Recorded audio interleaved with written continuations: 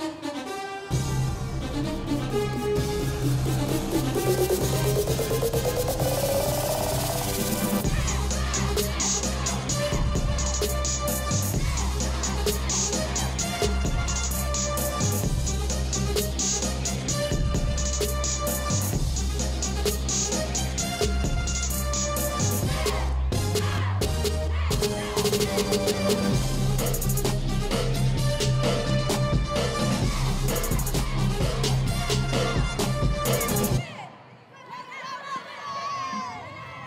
It's third down for the defense.